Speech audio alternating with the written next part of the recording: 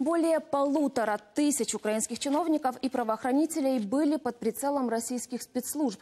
Об этом заявил военный прокурор Анатолий Матиос. По его словам, современные технологии позволяли агентам Москвы одновременно следить за таким количеством людей. Военный прокурор утверждает, что на оккупированных территориях работают специальные центры по подготовке терактов в Украине. Их координируют российские офицеры. Вбивство полковника Шаповала, це головне управління розвідки, суб'єктами інтересу спецслужб країни-сусіда, а також Центру спеціальних операцій ДНР ЛНР було 1600 правоохоронців і державних діячів України.